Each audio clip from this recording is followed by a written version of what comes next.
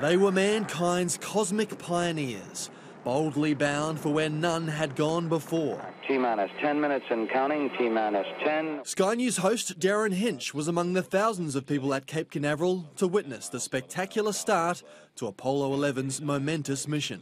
Live broadcasting to dozens of Australian radio stations. Five, four, three, two, one, zero, and the flames, you can see them now, and she's ready to go. It's starting to move. When it took off, the actual waves of power hit you in the gut like a baseball bat. You can probably hardly hear me, but there she goes, and it's pulling away from the tower. They're yelling, go, go, go, you beaut. I must admit one thing I admit now about that broadcast, and I almost dropped the F bomb. I know that as long as I live, I am never going to see anything quite like this one.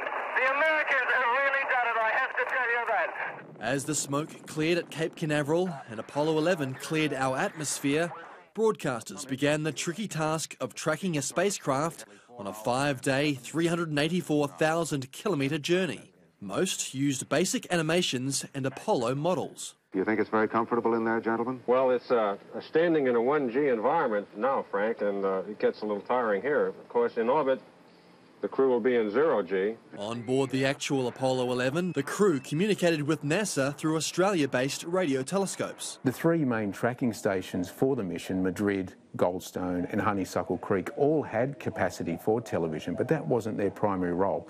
Their job was to monitor the telemetry information coming down about the astronauts' heart rates, data involving the equipment being used. And mid morning of July 21, 1969, touchdown.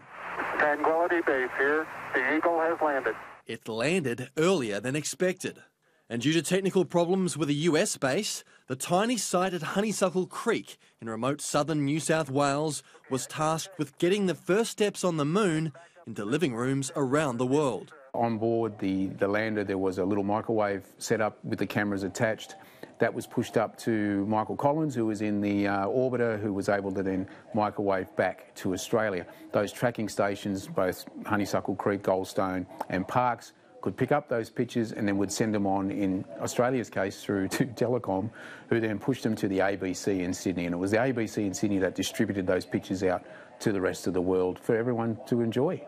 A moment enjoyed by 650 million people. It's one small step for man, one